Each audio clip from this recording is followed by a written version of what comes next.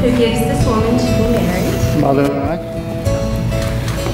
I, Jeremy Ned Cook, take you, Alyssa Simone Payne, take you, Alyssa Simone Payne, as my wedded wife. as my wedded wife. From this day forward, I give you my deepest love and devotion I humbly open my heart to you, as a sanctuary of warmth and peace.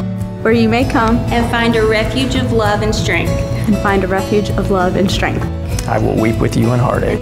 And celebrate life with you in joy I pledge my heart to you. for all the days of our life. With this ring, I marry you. And bind my life to yours, It is a symbol of my eternal love my everlasting friendship, and a promise of all my tomorrows. You may kiss the bride.